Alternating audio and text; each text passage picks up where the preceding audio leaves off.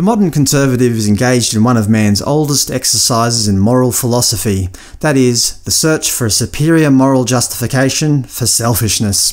It's hard to shake our addiction to crystal ball gazing, but predictions are fickle, fraught with risk, yet we love them.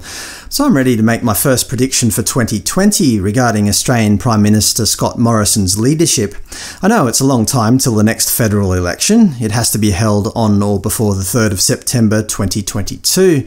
Recent polling indicates that the Liberal National Coalition are comfortably ahead, but you should keep in mind that these polls were taken prior to the recent spate of political missteps. Of course, there was the Hawaii trip, where the PM took an unannounced holiday before Christmas 2019. As he was flying to Hawaii, much of Australia was burning amid terrible bushfires. For days, Mr Morrison's office refused to comment on his whereabouts or return.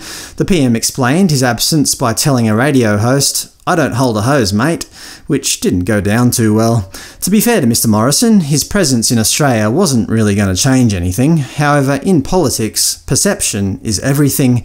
By him being intentionally outside of Australia during this critical time, people took it as a sign that he just didn't care. When he finally came to his senses and returned to Australia, he, or his advisers, decided to make an unannounced visit to a bushfire-ravaged town. He was heckled by the locals, treated as an outcast, and effectively run out of town.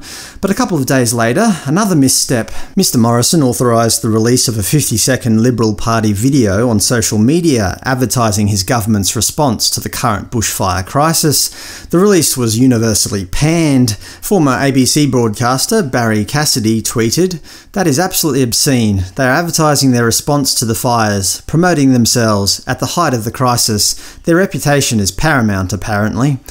Advertising expert Todd Sampson tweeted, Advertising. There is something not right about running political advertising during a devastating national crisis. It's like being sold to at a funeral. PR Crisis 101. Say less and do more. By the way, the bouncy elevator music is too juxtaposing and really annoying. ScoMo's social media post came with a link to a Liberal Party webpage with a prominently displayed donate button at the top, which turns out wasn't for donations to bushfire relief, but to the Liberal Party of Australia. Luckily, they came to their senses and removed that quick smart. Even former Prime Minister Kevin Rudd entered the fray, commenting on Mr Morrison's ability to lead. He tweeted, For God's sake, on a day we have catastrophic fire conditions, in the midst of a genuine national crisis, Morrison, the marketing guy, does what? He releases a Liberal Party ad. He is no longer fit to hold the high office of Prime Minister. Strong words. So anyway, on to my prediction. I predict that before the federal election in 2022, Scott Morrison's leadership will become untenable, and if the Liberal Party of Australia want any chance of winning, they will have no other option but to have yet another leadership spill.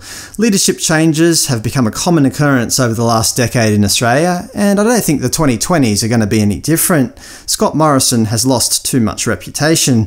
This is not to say that the coalition can't win, it's just that I don't think they can win with ScoMo as leader. Thanks for watching.